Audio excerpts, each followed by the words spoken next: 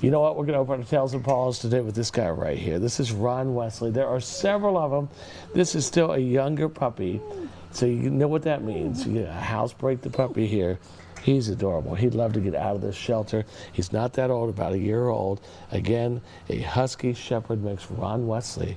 Look at that face, up for adoption right now. All right, here at the animal shelter, we also have some different kind of animals. Take a look today. We have guinea pigs. There are at least four of them here. They're all up for adoption. They're beautiful, and we got to get them a forever home as well. All right, so maybe you're looking for a cat today. Look at this girl right here. She's a bit older. She is six years old. This is Linda. Love the markings on her, like a little cow here, right, with the black and white. Love that right there. She is also spayed.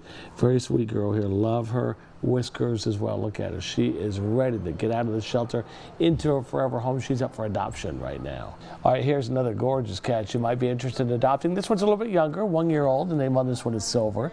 She is also spayed. Look at her. She likes the attention, but she is looking around here trying to find a way out into your home. She is up for adoption, looking for a forever home today. Once again, her name is Silver.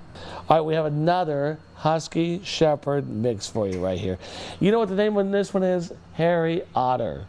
I love that name. You know what? There are several of these. They're all a family.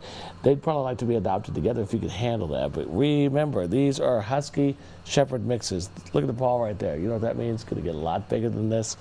Very laid back dogs or puppies here. They're about a year old and Harry Otter up for adoption. If you're interested in this dog or any of the animals you saw today, give the shelter call 926 8769 for more information. You're watching News Channel.